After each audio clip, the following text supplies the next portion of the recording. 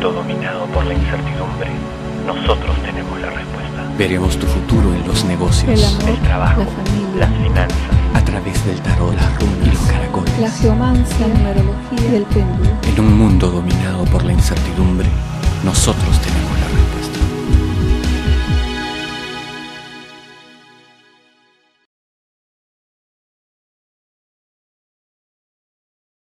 Hola Géminis, bienvenido.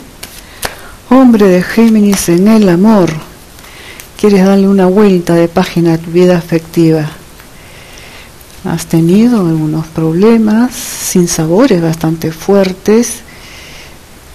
Quieres romper una relación, te va a costar mucho porque no quieres dañar a la persona eh, y eso está muy bien.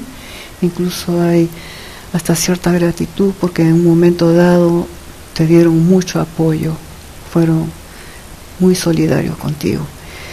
Pero el amor ya no va más para ti.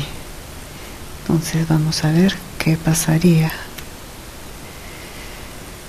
Esta decisión que estás tomando, esta vuelta de página, ya tiene un nombre, hay alguien que te está ilusionando. La mujer de Géminis en el amor. Ella está molesta.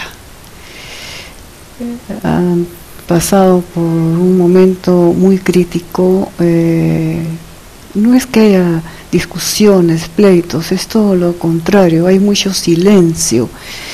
Y esos silencios a veces no favorecen en nada una relación. Vamos a ver si van a superar esto o no. Lo van a superar. Eh, les va a costar, sí, porque tienen muy poca comunicación, pero cuando llegue el momento de comunicarse sin agresión, por favor, conversen de una manera muy tranquila para que puedan renovar sus votos de amor. En el trabajo, muy buena época para Géminis en lo laboral, viene un incremento, una promoción, un ascenso. En los negocios, ahí tengan mucho cuidado porque hay personas que les están rodeando y no aconsejándolos muy bien que digamos, como que quieren que ustedes inviertan en algo. Si alguien se acerca con esa intención de ofrecerle algo, de que inviertan, no lo hagan porque sería un fraude total. Muchas gracias Géminis por acompañarme.